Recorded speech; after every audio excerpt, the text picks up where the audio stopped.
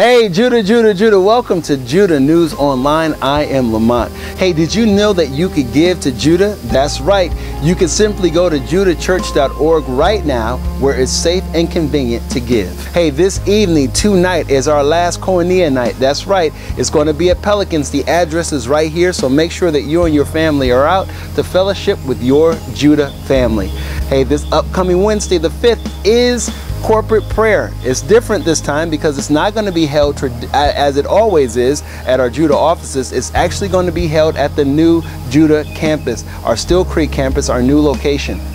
Make sure you get the address right here because it is going down this Wednesday at 7 p.m. Make sure that you are there. We're not only praying for our local needs, but also our national and international needs. So make sure you're there with our Pro Warriors. They'll be waiting for you. Hey, this week also on Thursday at our Judah offices is Tribe. It's for our young kids. Young kids, make sure you are there. We're covering a number of topics, but I know that one thing we're going to be covering this week is love versus lust. So make sure that you and your your friends are there because we need your support at Tribe. Hey, it's growing and it's growing for you. So make sure that you are there. Hey, this is October and hey, yesterday was the first day of October. Every weekend in the month of October, we're still going the extra mile. This, this month, what we're doing is that we are walking around the communities that affect our new campus, our Still Creek campus. So we need you there, Judah. That's right, every Saturday and Sunday, come on out to our new lo location and we're going to be manning our, our immediate neighborhoods there and we're taking prayer to those neighborhoods because those neighborhoods, hey, we we have to affect where we are first before we can affect the entire city, correct? So it starts there. So make sure you are there. Sunday, October 16th, it's Superheroes Sunday. That's right. Hey, our Judah kids, they are going to be dressing up as their favorite superhero. They're going to have a lot of fun. It's going to be food and games. So, young people, make sure that you get prepared and ready for it. And at the same time, make sure you come dressed as your favorite superhero.